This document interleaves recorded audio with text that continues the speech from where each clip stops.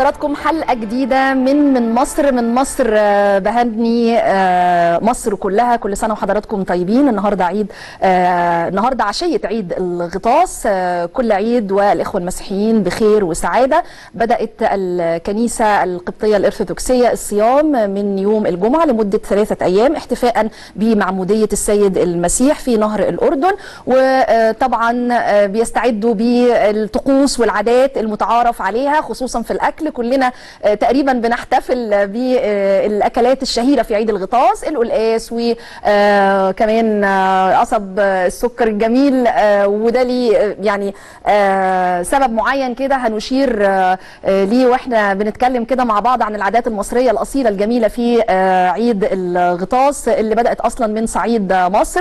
آه، ليها ارتباط كده بفكرة إنه القلقاس أساسا من الاشياء اللي يعني بتنمو من باطن الأرض بتكون مدفونة. فكرة النزول والصعود من الماء في المعمودية بتحملها آه، فكرة الاغذيه دي الأكل المشهور بيه عيد الغطاس القلقاس. ودي من الحاجات الجميلة أساسا عندنا في مصر ومن الأكلات الحلوة جدا اللي إحنا مشهورين بيها في كل آه، ال- اللمة الحلوة والتجمعات الجميلة. لكن عيد الغطاس طبعا آه، بيتميز بيها مع قصب السكر والبرتقال واليوستفندي ولقمة القاضي كمان. وكلها نفس الموضوع يعني فكرة آه، ال- آه، النزول والصعود من الماء هي اللي بتحملها الأكلات الشهيرة في عيد الغطاس. كل سنة وحضراتكم آه، طيبين. وجدير بالذكر إنه آه، النهارده ترأس البابا توادرس الثاني قداس عيد الغطاس بالكاتدرائية المرقسية بالإسكندرية آه، والتي يصليها البابا توادرس الثاني وسط حضور شعبي كبير. الصورة طبعا بتنقل لحضراتكم التفاصيل. نبدأ أخبارنا النهارده. طبعا أنظار العالم بتتجه إلى آه، برلين آه، إلى ألمانيا. كلنا بنتابع من ساعات الصباح آه، ومن بداية اليوم أخبار برلين. كلنا في انتظار أي صورة من برلين. كلنا بننتظر توصيات ونتائج هذا المؤتمر الهام اللي فيه القوى الكبرى اللي فيه أطراف النزاع اللي فيه مصر وحضور طاغي لمصر بورقة مصر اللي بتحمل الكثير من البنود الهامة اللي معول عليها في إيجاد حل لهذه الازمه الأزمة الليبية. بحضور السيد الرئيس عبد الفتاح السيسي وعدد من رؤساء الدول الإقليمية والدول دائمة العضوية في مجلس الأمن الدولي بالإضافة لممثلين من المنظمات الإقليمية والدولية ذات الصلة كان مؤتمر برلين. قبل المؤتمر اجتمعت المستشارة الألمانية أنجلا ميركل مع المشير خليفة حفتر قائد الجيش الليبي مع فايز السراج رئيس الحكومة بشكل منفرد لكل منهما. طبعا الأزمة في ليبيا هي الموضوع الأهم.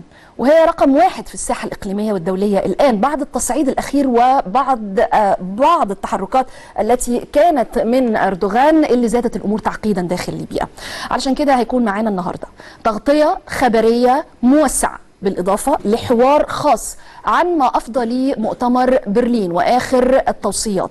هنناقش كل ما دار أيضا في هذا المؤتمر من مباحثات من لقاءات جانبية من تحركات على كافة الأصعدة. وده هيكون مع ضيفنا السفير حمدي صالح مساعد وزير الخارجية الأسبق ومع ضيفنا الكاتب الصحفي العزب الطيب الطاهر المتخصص طبعا في الشأن العربي. بدعو حضراتكم لمتابعة هذا الحوار مؤتمر برلين وما أتى به. بالتأكيد مهم جدا إن إحنا نعرف آه، تفاصيله والمعلومات الخاصة بهذه النتائج وإزاي هيتم تطبيقها على آه، الأرض وإزاي ما تم أيضا الاتفاق آه، عليه هيكون مراقب من قبل الأمم المتحدة. المستشارة الألمانية أنجلا ميركل عقدت مؤتمرا صحفيا تابعناه طبعا عقب الانتهاء فورا من المباحثات مع قادة الدول المعنية بالأزمة الليبية. المستشارة الألمانية ميركل قالت أن الأمم المتحدة اقترحت عقد اجتماع بشأن ليبيا وأضافت أنه تم الاتفاق فعلا على ضرورة حل الأزمة الليبية بشكل سياسي واحترام حظر توريد الأسلحة لليبيا. أضافت ميركل خلال المؤتمر الصحفي للإعلان الختامي لمؤتمر برلين حول ليبيا إنه تم الاتفاق على عدم دعم الأطراف المتنازعة وأكدت إنه يجب إعطاء الليبيين حق تقرير مصيرهم بشكل سلمي. المستشارة الألمانية قالت إن الوضع في ليبيا بيتطلب دعم الجميع والحل السياسي وأضافت إنه يعني الكل تقريبا اتفق على ضرورة حل الأزمة الليبية سياسيا. أننا بحاجة إلى حل سياسي. طبعا اتضح هذا الموضوع في الأيام الماضية أنه ليس من فرصة للحل العسكري فسوف ذلك سوف يزيد من معاناة الشعب. واتفقنا على خطة شاملة على الخطوات المستقبلية. وجميع الأطراف قد عملت معنا بشكل مكثف. والجميع موافقون على أن يجب احترام حظر الأسلحة ويجب مراقبته والإشراف عليه بشكل أقوى من الماضي. طيب لقراءة التوصيات اللي خرج بها مؤتمر برلين واللي قالتها المستشارة الألمانية أنجلا ميركل بينضم لنا دلوقتي عبر هذا الاتصال الهاتفي السفير الدكتور محمد حجازي مساعد وزير الخارجية الأسبق وسفير مصر في برلين الأسبق. أهلا بحضرتك يا فندم أهلا بيك يا فندم. اتفضل سعادة السفير يعني ما جاء به مؤتمر برلين كيف يمكن أن يطبق وينفذ يعني هل كان من المنتظر مثلا إنه يكون هناك اتفاق أكبر بشأن وقف إطلاق النار أو ما يضمن عدم توجيه يعني الأسلحة والعنف وإلى آخره ما يحدث من قبل تركيا تجاه الشعب الليبي؟ لا كان طبعا مؤتمر برلين هدفه الأساسي هو وضع خريطة طريق يرعاها المجتمع الدولي آه تسعى للالتزام بالحل السلمي ووقف إطلاق النار ومراقبته من خلال آلية تم الاتفاق عليها ووقف. التدخلات الخارجية آه في الشأن الليبي وإعلاء شأن الحل السياسي دون الحل العسكري آه واحترام حظر توريد الأسلحة والاتفاق على دعوة الأطراف المتنازعة. للجلوس معا على طاولة مفاوضات في جنيف خلال أسبوع من الآن على أن يرسل إعلام برلين إلى مجلس الأمن الدولي لإصدار بيان ملزم والتعامل مع قضية تدخل الأطراف أي. الإقليمية في الشأن الليبي مما يزيد الأوضاع تصعيدا وتوترا. وبالتالي أظن كانت تركيا مقصودة بالعديد من تلك البنود فوقف وحظر تقديم السلاح يقصد به السلاح والميليشيات المسلحة التي تستجلبها تركيا من مناطق نزاع أخرى خاصة من سوريا. وتفكيكها من البنود الأساسية في ورقة مصر. بكل تأكيد الورقة المصرية وتلك التي توافق عليها الاجتماع التنسيقي الوزاري اللي عقد الأسبوع الماضي في مصر كانت هي الأساس آه التي بنيت عليها مخرجات آه برلين. فمسعى آه مصر ودول الجوار المباشر لليبيا والدول المتوسطية التي عقدت مباحثاتها كانت وقف الدعوة لوقف إطلاق النار كانت المسعى لتوحيد المؤسسات الليبية على رأسها الجيش الوطني الليبي وتفكيك الميليشيات الإرهابية المسلحة وإعطاء الجيش الليبي الحق في مواجهة هذه الميليشيات والتوزيع العادل للثروات وإعلاء خريطة آآ آآ السلام التي أو المسار السياسي الذي طرحه السيد غسان سلامة مهم. أيضا نشير إلى أن الآلية خمسة زائد خمسة هي آلية عسكرية ستستبدل بالضبط يا ريت يا ريت سعادة السفير توضح لنا هذه الآلية اللي اتفقت الأمم المتحدة على عقد اجتماع خاص بشأن ليبيا لتنفيذ آلية خمسة زائد خمسة. هبدأ مع حضرتك يا فندم بتوضيحها للسادة المشاهدين. هو آلية خمسة زائد خمسة هي آلية متوسطية مم. عسكرية من أي. شأنها البحث بشكل فني في مم. كيفية تثبيت وقف إطلاق النار مم. وتحويل الهدنة الهشة الحالية لوقف إطلاق نار ثابت مم. يقود لمباحثات سياسية بين الأطراف في المرحلة القادمة فبدون تثبيت الهدنة الهشة الحالية لوقف مم. إطلاق نار دائم مراقب من المجتمع الدولي ومن هذه الآلية ستكون أيضا ليبيا عرضة لاستمرار دعم أطراف بعينها ولكن أظن رسالة برلين كانت واضحة لتركيا أن حظر الأسلحة سيتم مراقبته وأنا أظن حظر الأسلحة هيتضمن حتما الميليشيات الإرهابية المسلحة التي يتم إيه إفادها من مناطق نزاع خاصة من مم. سوريا أو من تركيا هنا إلى ليبيا إلى ليبيا مم.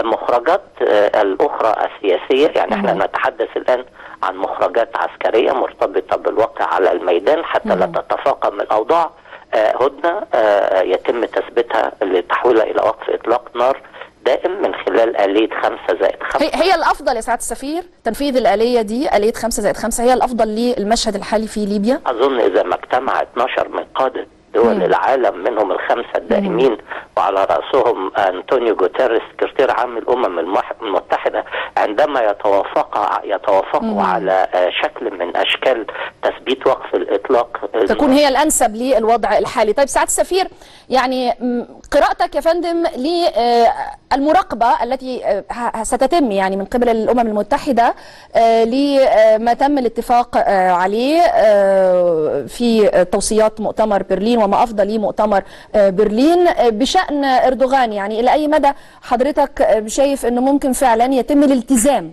أنا هقول لحضرتك هو إعلان برلين سيتم آه، إرساله إلى مجلس الأمن الدولي لتبنيه أيوة. آه، كقرار أممي ملزم وبالتالي إذا ما آه، قدر لأردوغان أن يرتكب خطأ آه، توريد اختراق. مم. فهو سيكون في عداء ليس مع المشير حفتر أو مع دول الإقليم أو المجتمع هو سيكون آه، في مخالفة صريحة للقانون الدولي ولقرار صادر عن الأمم المتحدة وسيكون بهذا القرار حتما آليات آه، مراقبته وسيكون هناك مسعى أممي أيضا خلال الأيام القليلة القادمة لإطلاق المسار آه، الاقتصادي. يعني نحن نتحدث عن مسار أمني من خلال آه، وعسكري من خلال آه، آه، تثبيت وقف إطلاق النار والهدنة الحالية.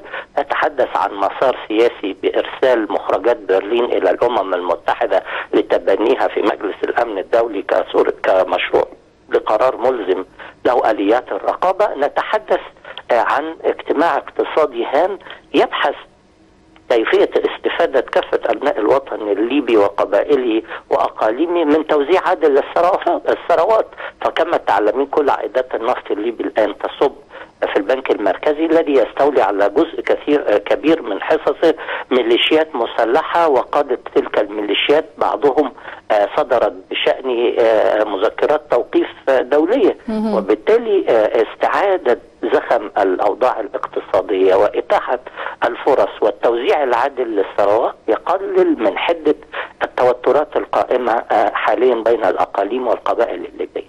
هنا أيضا آه، آه، يعني مسعى شاهدناه في برلين يتوافق تماما مع رؤية مصر ويتوافق تماما مع مخرجات الاجتماع التنسيقي اللي استضفناه الأسبوع اللي فات الماضي لخمس وزراء خارجية قبرص واليونان فرنسا وإيطاليا ومصر.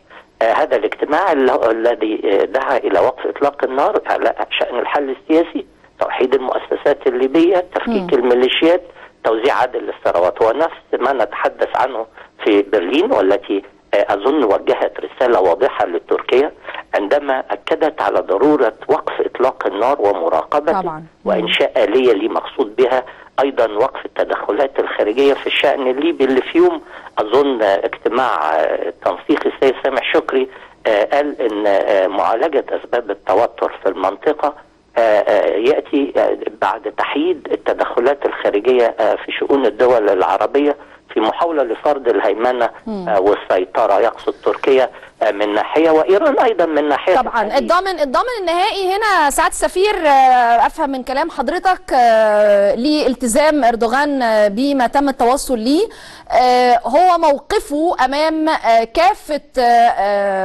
الحاضرين في مؤتمر برلين الاتحاد الأوروبي الولايات المتحدة الأمريكية ممثلة في مايك بومبيو مصر روسيا فرنسا كل الحاضرين في المؤتمر وإلا هيكون هناك عواقب.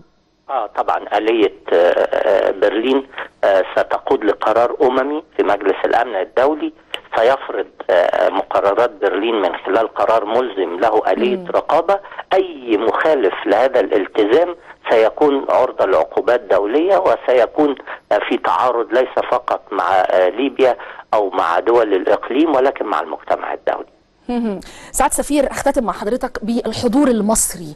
النهارده آه، مصر آه، موجودة في آه، مؤتمر برلين. المؤتمر المهم طبعا على كافة الأصعدة لإيجاد حل بشكل سياسي للخروج من الأزمة الليبية. النهارده بيعول على هذا الدور المصري اللي أساسا بدأ من يعني زمن لإيجاد حل للأحداث اللي بتتصاعد في ليبيا.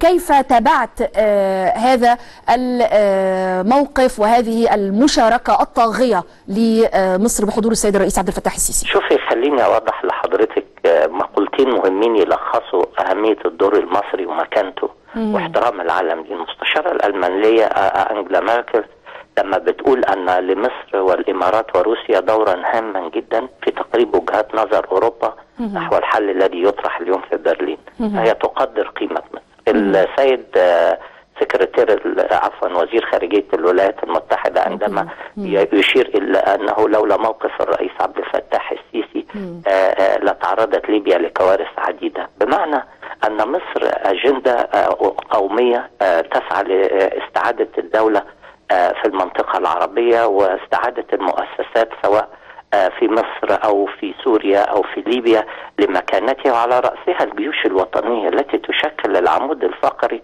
الذي يحمي مصالح الدول. وبالتالي مصر أجندة تسعى من أجل الأمن والاستقرار. لا تتدخل ولا تتحرش وتسعى للاستفادة بثرواتها وثروات المنطقة وفقا لقواعد القانون الدولي.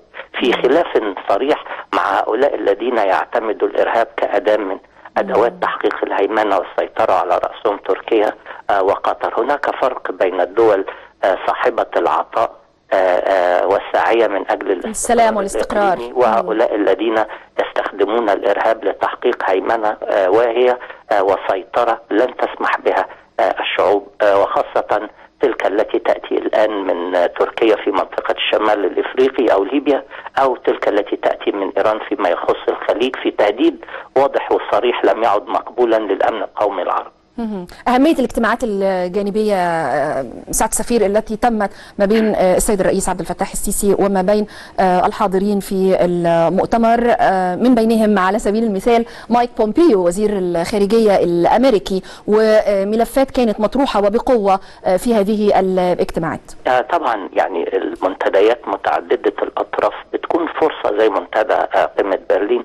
بتكون فرصة للقاءات الثنائية اللي من خلالها بنبحث يعني آفاق التعاون مع الدول وكذلك بحث قضايا هامة طبعا الولايات المتحدة آه ممثلة في وزير خارجيتها دلالة على أهمية اجتماع برلين والسيد الرئيس بيلتقي بالسيد بومبيو لينقل له أيضا تقدير مصر الجهد الأمريكي الذي بذل للتوصل إلى اتفاق بين مصر والسودان وإثيوبيا في واحدة من أهم القضايا المتعلقة بأمن مصر القومي وهي قضية سد النهضة. مم. وبالتالي يعني التعبير عن هذا الدور وبالتأكيد الدعوة لدور أمريكي آه، أكثر انخراطا في محاولة التوصل للاتفاقية المنشودة التي نأمل أن يوقع عليها الأطراف الثلاث في نهاية آه، آه، الشهر الحالي هي أمر هام جدا وضروري تستدعي مثل هذه اللقاءات التي تعد يعني شكلا من أشكال العلاقات الدولية كأن السيد الرئيس قد قام بزيارة للولايات المتحدة فأنت إذا لم تذهب إلى العالم يأتي إليك العالم كله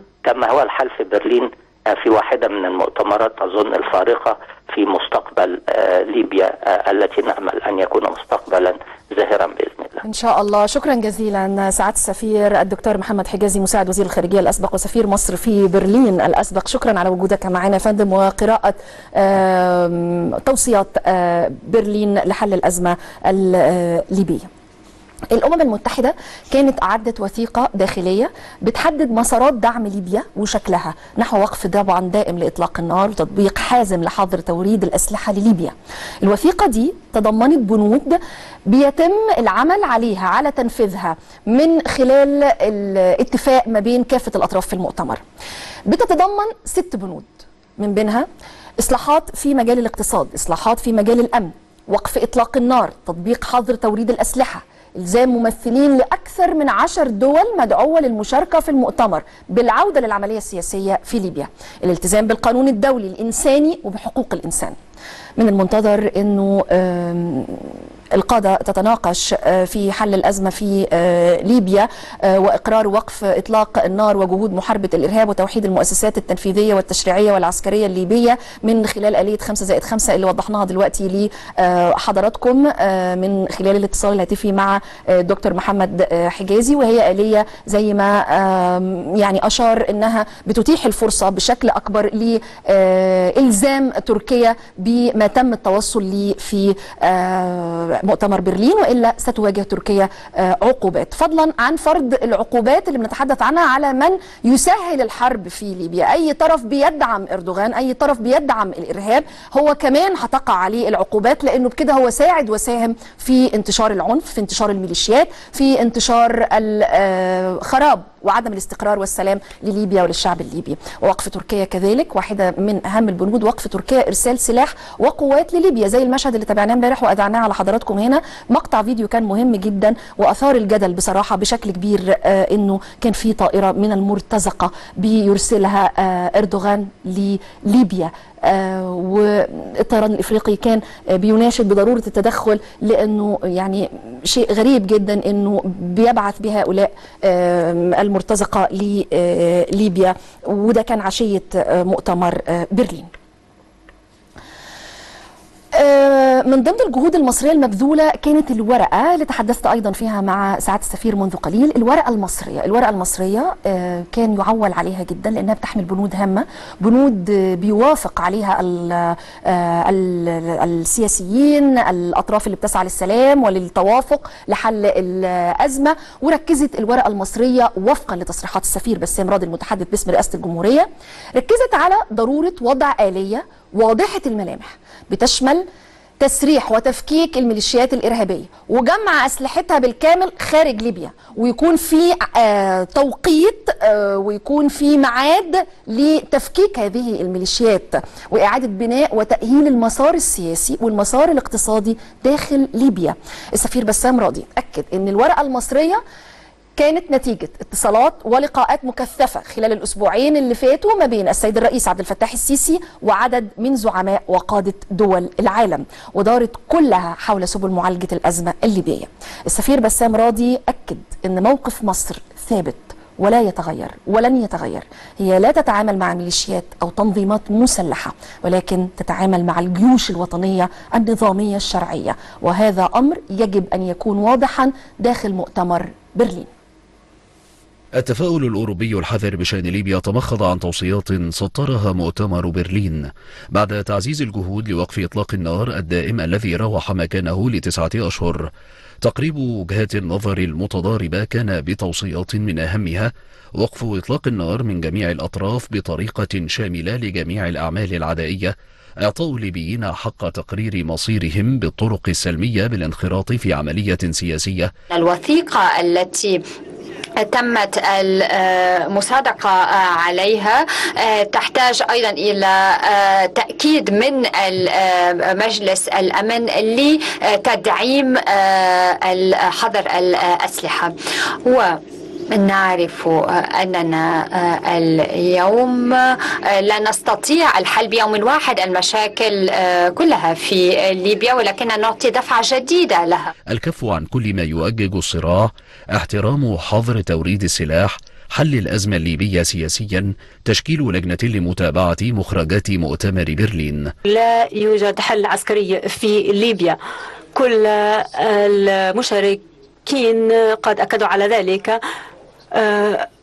مع أنهم ربما يكونوا أيضا مشاركين بشكل مباشر في في النزاع ولكن كل المشاركين هم هم ملتزمون بعدم التدخل في هذا النزاع الليبي. مصر كان لها دور بارز بمطالبتها بضرورة وضع آلية واضحة الملامح تشمل تسريح الميليشيات وجمع أسلحتها وإعادة بناء وتأهيل المسار السياسي والاقتصادي. إذا برلين جمعت الفرقاء الليبيين لإنهاء الصراع.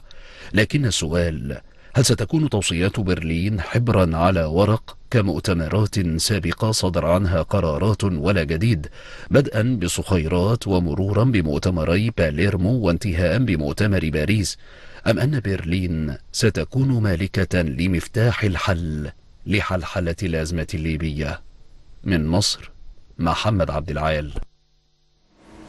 السيد الرئيس عبد الفتاح السيسي كان له مشاركة فاعلة خلال مؤتمر برلين التقى خلالها مع عدد من قادة العالم للتباحث حول الأزمة الليبية وعدد أيضا من الملفات الهامة في المنطقة. وأثناء المؤتمر عقد الرئيس السيسي مباحثات مع عدد من قادة العالم مباحثات هدفها دعم الحلول السياسية في ليبيا وهو الهدف الأبرز في مؤتمر برلين والوصول لتسوية عادلة. وحرصت في ذات الوقت الجالية المصرية على أنها تنظم وقفات احتفالية مظاهرات تأييد للسيد الرئيس أثناء المشاركة وده كان على هامش مشاركة الرئيس في مؤتمر برلين. الصور اللي معانا دلوقتي لهذا المؤتمر وكواليس المؤتمر وما أيضا يعني جاء فيه. طبعا دي الصورة التذكارية اللي أخذت. هنا السيد الرئيس مع عبد المجيد تبون وزير عفوا رئيس الجزائر الجديد وبيصافحوا وكانت يمكن هنا دلوقتي طبعا السيد الرئيس بيصافح بوتين رئيس روسيا وطبعا كانت مصافحة الرئيس لعبد المجيد تبون أيضا أثناء التقاط الصورة التذكاريه وهنا أثناء وصول السيد الرئيس عبد الفتاح السيسي للمشاركة في مؤتمر برلين اللي بينعقد لإيجاد حل سياسي للخروج من الأزمة الليبيه لحظة وصول الرئيس عبد الفتاح السيسي للمشاركة وتقديم ورقة مصر اللي بتحمل البنود المتفق عليها من قبل كافة الأطراف الساعية للسلام والاستقرار في ليبيا. الصورة دي واحدة من الصور أيضا الهامة لمؤتمر برلين. المشاركون القادة بيجتمعوا للتباحث كما هو واضح في الصورة ولاستكمال الحديث حول هدف هذا المؤتمر الأبرز والأهم وهو إيجاد الحل السياسي للخروج من الأزمة الليبية. ورد إلينا الآن آه هذا الخبر العاجل آه وهو آه وصول السيد الرئيس عبد الفتاح السيسي لبريطانيا للمشاركة في فاعليات قمة أفريقيا بريطانيا للاستثمار كما صرح السفير بسام راضي المتحدث باسم رئاسة الجمهورية بأنه السيد الرئيس عبد الفتاح السيسي وصل الآن إلى بريطانيا للمشاركة في فعاليات قمة إفريقيا بريطانيا للاستثمار. طبعا حضور السيد الرئيس هنا ليس فقط كرئيس لمصر ولكن أيضا كرئيس للاتحاد الأفريقي بيحمل مطالب وطموحات وآمال القارة السمراء وشعوب الدول الإفريقية للعالم خاصة في قمة مهمة زي دي. القمة دي هي بوابة كبيرة جدا على فكرة للاستثمار والاقتصاد. القمة دي بحضور 53 من القادة في القارة الإفريقية بيجتمعوا مع حكومة حكومة المملكة المتحدة للتباحث للتفاوض لتأمين صفقات خاصة بالبتروكيماويات خاصة بالطاقة لتأمين فرص عمل أيضا خاصة بالدول الإفريقية. القمة دي بتفتح أبواب كثيرة خاصة بانتعاش الحالة الاقتصادية في القارة الأفريقية. وأيضا بتؤكد وبتكشف عن الفرص اللي موجودة في القارة الإفريقية وفي الدول الإفريقية لاستثمارها ولتوظيفها لصالح الدول الإفريقية وشعوبها. القمة اللي هنتابع طبعا تفاصيلها مع الزميل عمرو خليل اللي بيتابع مراحل هذه القمة من أول الاستعدادات والترتيبات وأيضا بالتأكيد الفعاليات بكرة إن شاء الله. وعلى فكرة هيكون معنا عمرو بعد قليل لموافتنا بآخر الأخبار خاصة بعد وصول السيد الرئيس عبد الفتاح السيسي لبريطانيا للمشاركة في القمة. القمة دي بتسعى لإيجاد فرص أكبر وأوسع للقارة الإفريقية وإحنا في انتظار طبعا توصياتها والنتائج اللي بتخرج بها هذه القمة لأنه طبعا استثمارات بريطانيا في الدول الإفريقية وفي القارة بشكل عام كبيرة جدا ويمكن هي في المرتبة الثالثة بعد الولايات المتحدة الأمريكية وبعد فرنسا وبالتالي التأكيد عليها وفتح الأبواب ليها بشكل أكبر ده يعني هيعطي دفعة كبيرة للاقتصاد والتجارة والصناعة في الدول الإفريقية. عودة مرة تانية لمؤتمر برلين. مؤتمر آه، برلين زي ما تحدثنا عن الهدف آه، الخاص بهذا المؤتمر آه، اتجهت كل أنظار العالم ليه آه، بشأن ليبيا. كمان الحقيقة كان بيحمل في طياته آه، ملفات مهمة جدا. آه، السيد الرئيس آه، بحث هذه الملفات على هامش مؤتمر آه، برلين من خلال اللقاءات اللي عقدها. آه، الرئيس آه، عبد الفتاح السيسي استقبل مايك بومبيو وزير خارجية الولايات المتحدة لبحث التعاون المشترك ما بين مصر وما بين أمريكا. اللقاء ده كان فيه تباحث عن تطورات الأوضاع في ليبيا آه، في إطار طبعا انعقاد مؤتمر برلين آه، بعد آه، ظهر اليوم. وأكد الرئيس السيسي إنه مفيش أي سبيل آخر إلا تسوية الأزمة من خلال الحي الحل السياسي ومن خلال حل شامل بيتناول كل أبعاد القضية من خلال مسارات واضحة ومحاور محددة سياسيا وامنيا واقتصاديا.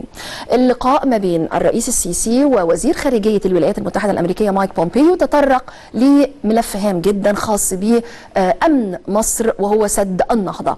أعرب الرئيس السيسي عن تقديره لجهود الولايات المتحدة في رعاية المفاوضات الثلاثية الخاصه بسد النهضة. وجدير بالذكر هنا طبعا إن الولايات المتحدة الأمريكية كانت قدمت آه، مبادرة لاستضافة الدول ال- آه، والأطراف الخاصة بهذا الملف آه، ملف سد النهضة. وأعرب الرئيس السيسي عن التطلع لاستمرار الدور الأمريكي في ملف سد النهضة وصولا لبلورة اتفاق شامل بيحفظ طبعا حقوق مصر التاريخية في مياه النيل.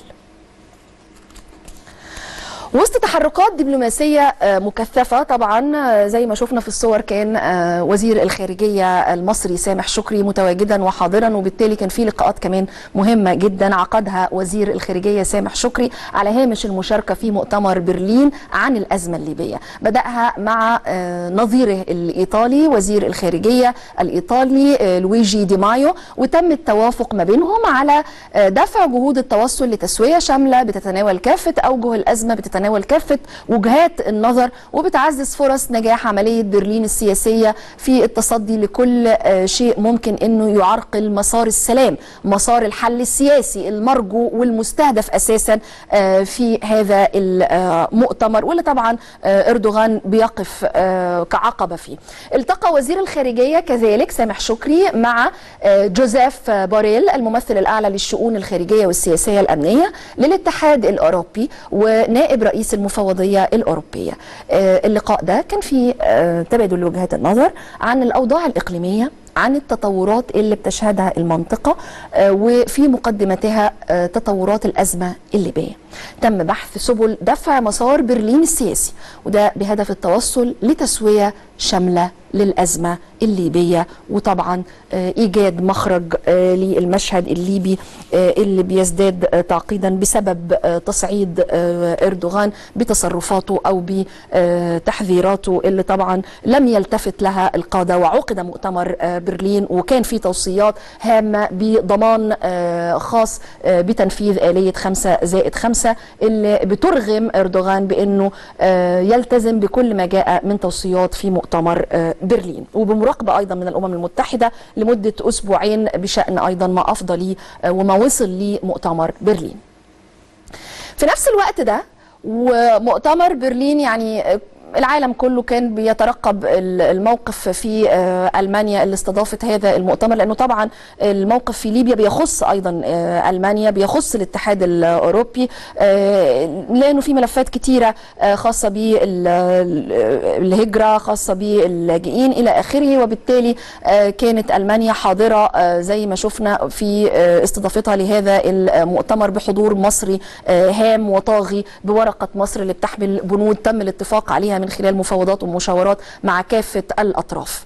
ف آه، وإحنا نتحدث عن هذا المؤتمر وعن الاستعدادات والترتيبات آه، القوية لهذا المؤتمر كان في في نفس الوقت تظاهرات كبيرة في العاصمة الألمانية برلين التظاهرات دي كانت بتندد بمشاركة أردوغان في المؤتمر بحضوره لبرلين بمشاركته بوجوده أساسا في برلين. آه، حرص المشاركون في الوقفة الاحتجاجية آه، على أنهم يشيلوا آه، لافتات ويشيلوا يعني ما يشير لدور أردوغان الإرهابي في ليبيا وأنه بيسحب حق الشعب الليبي في حياة كريمة وحياة سالمة وآمنة. وكانت كانت بعض اللافتات بتتحدث عن إنه لا للتدخل التركي في ليبيا بترفض التدخل التركي في ليبيا وبترفض حضور الإردوغان إلى آه، برلين. كان في لافتات أخرى لصوره صور إردوغان وهو بيدعم تنظيم داعش الإرهابي والدواعش وبيدفع بيهم لليبيا وبيهدد بيهم كمان آه، كل من لا يقف معاه ومع موقفه ومع دوره آه، في دعم الإرهاب وفي آه، أيضا بث القلق والعنف داخل آه، ليبيا آه، وطبعا ده عكس حالة من آه، التوتر على آه، باقي الدول وعقد مؤتمر برلين. آه، كان في صور آه، زي ما إحنا شايفين اهي دلوقتي معانا رفض إردوغان أساسا وعدم الترحاب آه، بإردوغان في وجوده آه، داخل آه، برلين. وصور أخرى آه، بتشير إلى إنه إردوغان يعني زي ما إحنا شايفين في الصورة دي آه، آكل للحوم آه، البشر. آه، مصاص دماء يعني طبعا الناس رافضة الناس متفقة إنه أردوغان يعني في النهاية شخص داعم لاي إرهاب لاي عنف ولاي عدم سلام. التوتر عاد مرة أخرى ليخيم. ننتقل بقى لموقف تاني ومشهد آخر مهم الحقيقة. لا يمكن أبدا أن نلفت الانتباه عنه. النهاردة لبنان كان فيها تصعيد مع أن اليوم بدأ بهدوء حذر. ولكن آه، بدأ التصعيد خاصة في الساعات الأخيرة آه، من اليوم. اندلعت اشتباكات كبيرة مساء اليوم ما بين القوى الأمنية ما بين المتظاهرين في بيروت قام عدد منهم برشق عناصر مكافحة الشغب بالحجارة وده كان في محيط مجلس النواب وده مكان مهم جدا طبعا لأنه ده مجلس النواب وطالب الأمن اللبناني المتظاهرين بأن هم يتحلوا بالسلمية ويبتعدوا عن أماكن المواجهات والاشتباكات مع من يثير الشغب آم، شهد محيط مصر في لبنان تجمعا للمتظاهرين وده كان في إطار التحركات الاحتجاجية على سياسة المصرف المركزي والمصارف بشكل عام داخل لبنان. لسه تشكيل الحكومة الجديدة برئاسة حسان دياب عندها مشاكلها وعندها عقباتها وعندها عراقيل بتتعلق بتوزيع الحقائب ونظام المحاصصة وفي احيان أخرى بتتعلق بحسان دياب آه، أساسا كرئيس للحكومة. آه، رئيس حكومة تصريف الأعمال في لبنان آه، سعد الحريري قال إن مشهد المواجهات والحرائق وأعمال التخريب وسط بيروت مشهد مجنون ومشبوه ومرفوض ويهدد السلم الأهلي وينذر بعواقب وخيمة على لبنان. سعد الحريري أضاف في عدد من التغريدات الهامة على مواقع التواصل الاجتماعي تويتر واللي تم تداولها طبعا انه بيروت لن تكون ابدا ساحة لا للمرتزقة ولا للسياسات المتعمدة لضرب سلمية التحركات الشعبية. معانا دلوقتي علشان نتابع الموقف عن قرب آه، الأستاذ فادي عكوم المحلل السياسي اللبناني. أستاذ آه، فادي برحب بحضرتك طبعا وهبدأ حديثي معاك بإن لبنان دي عزيزة علينا كلنا في مصر. بنحب الشعب اللبناني بينا علاقات على كافة الأصعدة سياسيا و يعني فنيا يعني لبنان دي مكان سياحي جميل مقصد لينا آه، وللدنيا إنه يحب يتمتع بطبيعتها وبجمالها. النهارده هذا المشهد اللي بنتابعه في لبنان وتطوره والتصعيد اللي بيحدث الآن. آه، ما هي آه، خباياه آه، يعني كيف تقراه يا فندم؟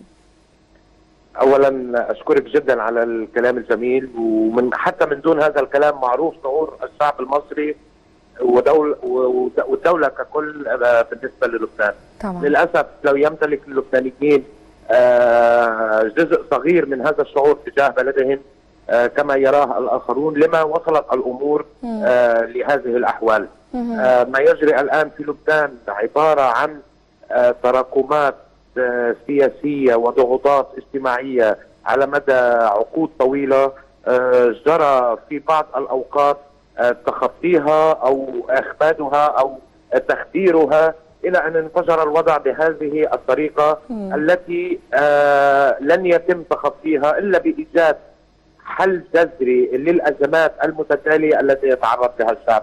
أولها النظام الطائفي المحاصصة والذي يدير لبنان آه، من آه، من آه، أكبر المناصب حتى المناصب العادية.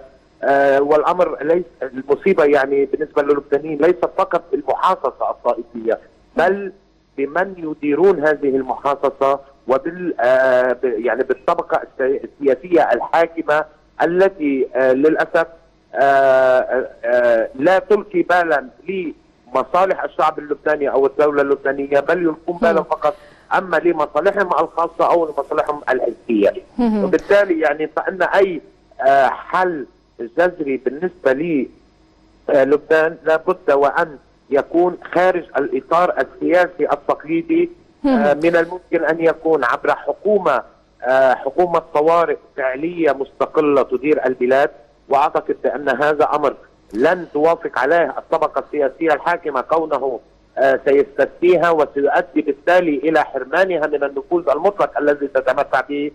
خاصة وأن الشعب اللبناني يعني عنده تحفظات كثيرة على آه، الوضع الحالي للحكومة التي آه، يتم آه، تشكيلها برئاسة آه، حسان آه، دياب. نأمل أنه نشوف مشهد مخالف للمشهد اللي أمامنا في بيروت الجميلة في لبنان ويتم التوصل فعلا لاتفاق آه، بشكرك آه، أستاذ فادي عكوم المحلل السياسي اللبناني. آه، لبنان كانت آخر الأخبار آه، معنا ولكن آه، دائما التقرير الإخباري في المزيد من التفاصيل عن أخبار كتيرة اهتميتوا بها حضراتكم بنجمعها في هذا التقرير. نتابعها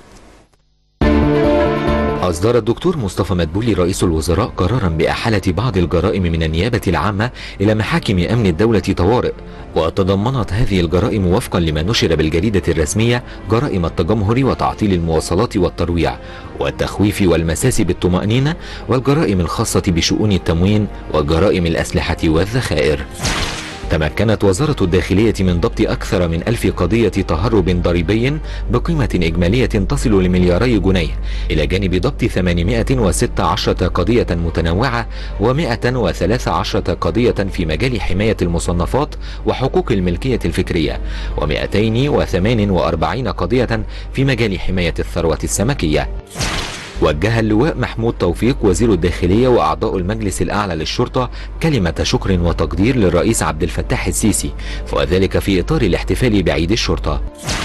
نشر مركز معلومات مجلس الوزراء انفوجرافا سلط من خلاله الضوء على تقدم مصر أربعة مراكز في مؤشر أفضل الدول لعام 2020 وأوضح أن مصر واصلت تقدمها في مؤشر أفضل الدول إذ احتلت المركز السادس والثلاثين عالميا في إصدار 2020 بعدما جاءت في المركز الأربعين في الإصدار السابق. كما احتلت مصر هذا العام المركز الثاني عربيا بناء على قوتها الاستراتيجية والسياسية والثقافية وتراثها التاريخي وقدرتها على مواكبة محركات التغيير ودفع عجلة التنمية. بدأت وزارة التخطيط والتنمية الاقتصادية أول أيام التدريب على جائزة مصر للتميز الحكومي في نسختها الثانية للعام 2020 وذلك في خمس محافظات هي القاهرة والمنوفية وبني سويف والجيزة والفيوم. أشاد ممثل برنامج الغذاء العالمي ببرامج مساعدة النساء في صعيد مصر مشيرة إلى أنها حصلت على المركز الأول على العالم كما حصل مكتب القاهرة على المركز الأول فيما يخص برامج التنمية في العالم. جاء ذلك خلال لقائه مع الدكتور مصطفى مدبولي رئيس مجلس الوزراء لمناقشة سبل التعاون مع برنامج الغذاء العالمي. أعلنت وزارة الصحة الانتهاء من تسجيل 530 ألف مواطن بمنظومة التأمين الصحي الشامل الجديد منذ بداية التسجيل في الأول من أكتوبر الماضي وحتى اليوم. يتوقع خبراء الأرصاد أن تشهد البلاد غدا الاثنين أمطارا على السواحل الشمالية ومناطق متفرقة من الوجه البحري قد تمتد إلى القاهرة. وتقل الرؤية في الشبورة المائية صباحا على مناطق من شمال البلاد والطقس مائل للبرودة على شمال البلاد حتى شمال الصعيد. معتدل على جنوب الصعيد نهارا شديد البرودة ليلا.